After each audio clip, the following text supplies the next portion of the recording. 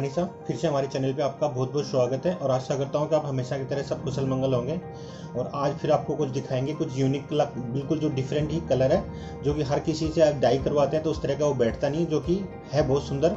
और ऐसा कलर है कि वो आप उसको रिसेप्शन में भी ले सकते हैं और चाहे तो आप उसको ब्राइडल वाले कलर में भी उसको ले सकते हैं, जो कि बहुत ही खूबसूरत है। पोशाक भी बहुत अच्छी है। देखेंगे तो आपको भी लगेगा हाँ वास्तव कलर और पोशाक दोनों बहुत खूबसूरत है। और क्योंकि उसका काम भी इसी तरह से किया हुआ लुकिंग में पूरी हेवी है। और अच्छी पोशाक है जो आज आप देखने को मिलेगा। इस तरह की पोशाक ज़्यादातर या तो ब्राइडल के लिए यूज़ चलती है, या फिर रिसेप्शन के अकॉर्डिंग में चलती है। तो पहले एक बार पोशाक ओवरऑल का वीडियो, ओवरऑल वीडियो देख लीजिए, फिर बात करते हैं उसके कलर वर्क की। और हाँ जिन लोगों ने अभी तक हमारा चैनल सब्सक्राइब नहीं किया है तो चैनल को लाइक और सब्सक्राइब और बेल आइकन का बटन दबाना ना भूलें, ताकि अभी आने वाले टाइम में शादियों का सीज़न रहेगा। आपको हमेशा से फ़र्स्ट फ़र्स्ट नोटिफिकेशन मिलेगा और आपको फ़र्स्ट में पोशाक का कलर कॉम्बिनेशन देखने को मिलेगा। तो आपको उससे आइडिया रहेगा कि कहाँ से पोशाक परचेजिंग करें, कहाँ से नहीं करें और कैसा कलर चाहिए, कैसा कलर नहीं चाहिए। आपको सारी चीज़ आपको विस्तार से देखने के लिए मिलेंगे, सब कुछ बताने को भी मिलती है। मैं जैसे बताता हूँ, हर पोशाक के बारे में बताता हूँ। तो आप चैनल को लाइक और सब्सक्राइब और बेल आइकन का बटन दबाना ना भूलें।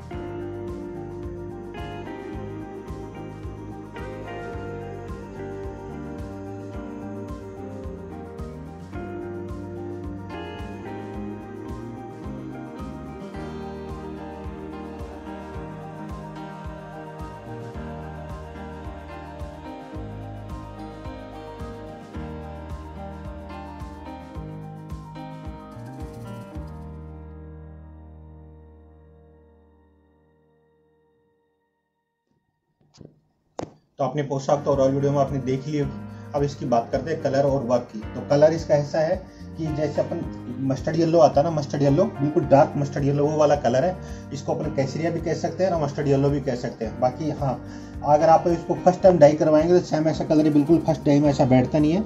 मैंने भी इसके लिए बहुत कोशिश की है तब जाकर के बिल्कुल ये सुरंगा बिल्कुल एकदम, बिल्कुल रिच कलर बैठा है, जो कि ऐसा कलर या तो मैं पहले भी बताया था कि या तो रिसेप्शन में चलती है या फिर ब्राइडल में चलती है।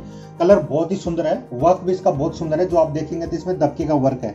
इस तरह का इसको दबका इसको बोलते हैं। और इसी में सलमा है सिक्वेंस है, दबका है और पोत भी है। सब कुछ ऐसे मिक्स वर्क करके लगाई। इसमें डोरी भी यूज़ में ली हुई है ताकि अच्छी लगे। पोशाक में जाल दिया हो इस तरह से इसमें।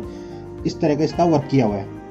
जो लहंगे का कपड़ा है और ये वाला कपड़ा जो, ये तो वाला बेम्बर साटन है। जो बेस्ट क्वालिटी फैब्रिक जो सबसे बेस्ट होता है ना, वो वाला कपड़ा यूज़ में लिया हुआ है। लहंगे का कुर्ती का। और ओढ़ना हमेशा से वही जो जो भी पोशाक बनती है, हमारे यहाँ तो ठाकुर जी प्योर वही यूज़ करते हैं, उसी में इसका ओढ़ना बनाया हुआ है। और ओढ़ने में इसमें पूरे में आप देखेंगे तो इतना, ये वाला इतना हेवी बॉर्डर दिया हुआ है। यहाँ से लगा करके और ये यहाँ तक इतना हेवी बॉर्डर दिया हुआ है, यहाँ तक। ये वाला आगे ये बॉर्डर है, फिर इसके साथ में फिर ये राउंड सर्कल में मुर्रे बना करके फिर इस तरह से इसमें ओढ़ने में, पूरे में इस तरह का बॉर्डर आएगा।